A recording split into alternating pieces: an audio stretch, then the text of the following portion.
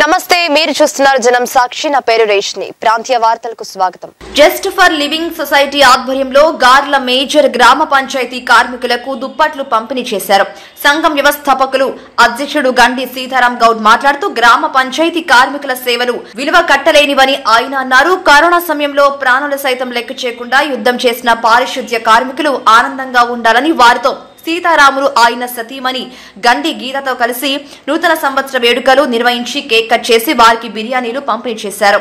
ఈ కార్యక్రమంలో మేజర్ గ్రామ panchayat sarpanch Ajmeera Bansilal single window chairman Vadlamudi Durgaprasad BRS party Garla మండల అధ్యక్షుడు గంగావత్ లక్ష్మణ్ నాయక్ పానుగంటి రాధాకృష్ణ ఎస్ఐ భానుత్ వెంకన్న ఉప సర్పంచ్ కందనూరి ఉమామహేశ్వరరావు సిపిఎం పార్టీ జిల్లా నాయకులు కందనూరి శ్రీనివాస్ ప్రెస్ క్లబ్ అధ్యక్షుడు నరెడ్ల సోమయ్య పారిశుద్ధ్య సిబ్బంది తదితరులు పాల్గొన్నారు.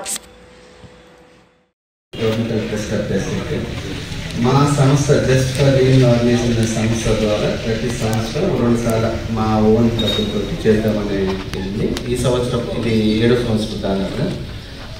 ఈ సంవత్సరం ఈ కార్య పారిశుద్ధ కార్మికులకి కరోనా సందర్భంలో చేసిన సేవలను గుర్తించి వారికి ఒక చెద్దరు కేక్ కటింగ్ చేసి ఒక బిర్యానీ ప్యాక్ అందజేద్దామని చెప్పి ఉద్దేశంతో చేస్తున్న కార్యక్రమం ఇది. అందరూ పార్టిసిపేట్ చేసి ప్రోగ్రామ్ సక్సెస్ చేయాల్సిందిగా కోరుతున్నాను కేసీఆర్ సేవాదళం తెలంగాణ రాష్ట్ర ఉపాధ్యక్షుడు జూలపల్లి మండల జెడ్పీటీసీ బొద్దుల లక్ష్మణ్ తెలంగాణ రాష్ట్రంలో అమలవుతున్న వివిధ సంక్షేమ పథకాలతో రూపొందించిన రెండు వేల ఇరవై మూడు క్యాలెండర్ను సోమవారం ఎమ్మెల్సీటీ భానుప్రసాద్ రావుతో కలిసి ఆవిష్కరించారు.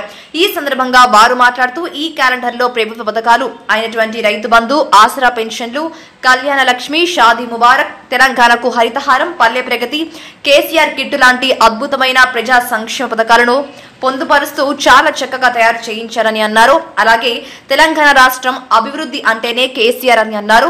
మనమందరం కేసీఆర్కి అండగా ఉండాలని అన్నారు. మన రాష్ట్ర ప్రభుత్వం ప్రజా సంక్షేమానికి పెద్దపీట వేసిందని పైన క్యాలెండర్లో పేర్కొన్న సంక్షేమ పథకాలు ప్రతి ఇంట్లో ఏదో ఒక రూపంలో అందుతున్నాయని అన్నారు. ఈ కార్యక్రమంలో కేసీఆర్ సేవాదళ సభ్యులు పాల్గొన్నారు. ప్రతి ఒక్కరికి న్యాయం పొందే హక్కును రాజ్యాంగం కల్పించిందని ప్రతి ఒక్కరికి సమాన న్యాయం అందే విధంగా జిల్లా న్యాయ సేవాధికార సంస్థల ద్వారా ఉచిత న్యాయ సేవలు సహాయం అందించడం జరుగుతుందని రాష్ట్ర హైకోర్టు ప్రధాన న్యాయమూర్తి జస్టిస్ ఉజ్జల్ బుయాన్ అన్నారు.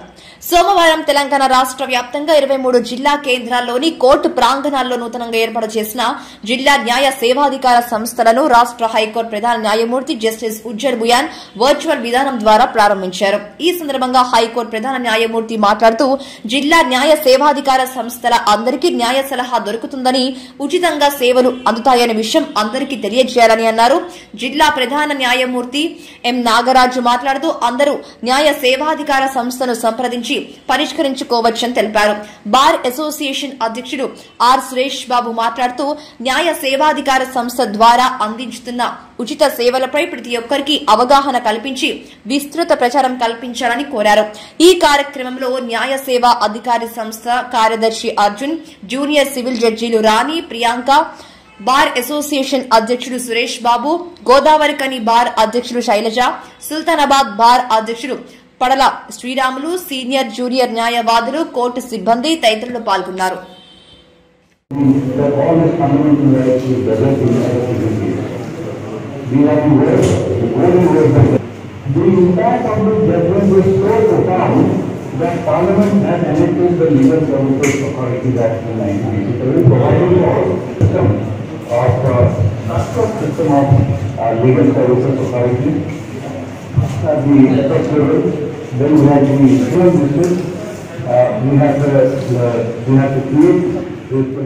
బస్తీ ప్రజల సుస్థి న్యాయం చేయడానికే బస్తీ దవాఖానా ఏర్పాటు చేసి అందుబాటులో తెచ్చామని రాష్ట ఆర్థిక వైద్య ఆరోగ్య కుటుంబ సంక్షేమ శాఖ మంత్రి హరీష్ రావు చెప్పారు. పట్టణంలోని పదకొండవ వార్డు కార్లకుంట కాలనీలో బస్తీ దవాఖానాను ప్రారంభించారు.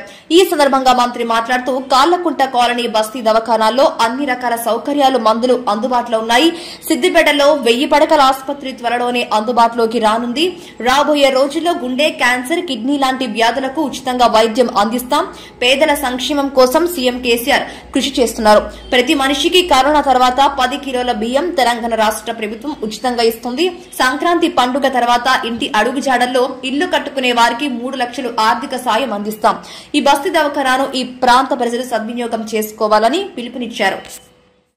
ఎన్నో సౌకర్యాలు మెరుగుపరిచినాం మీ బిడ్డ కానీ కోడలు కానీ కాన్పుకు పోతే ఒక రూపాయి ఖర్చు లేకుండా బయట మీ ఎంబడబోయిన తల్లికి అత్తకు అన్నం పెడుతున్నాం లోపల బిడ్డకు అన్నం పెడుతున్నాం కాన్పు చేపించి కేసీఆర్ కిట్ ఇచ్చి తల్లిని పిల్లని తెచ్చి కాళ్ళకుంట కాలనీలో ఇంటికాడ దించిపోతున్నాం ఆటో కిరాయి లేకుండా.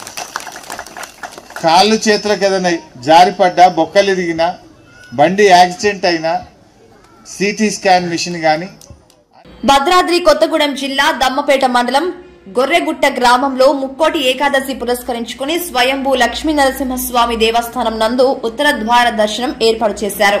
భక్తులు అధిక సంఖ్యలో పాల్గొని పూజా కార్యక్రమాలు నిర్వహించారు. దేవాలయ వ్యవస్థాపక అధ్యక్షుడు అడప రామకృష్ణ ఆలయ అర్చకులు విజయసారథి ప్రెస్ క్లబ్ దమ్మపేట వారిని ఘనంగా సత్కరించారు.